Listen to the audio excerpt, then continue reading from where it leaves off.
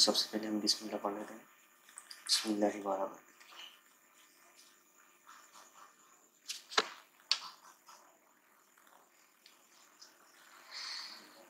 Full मज़ेदार लग रहा है।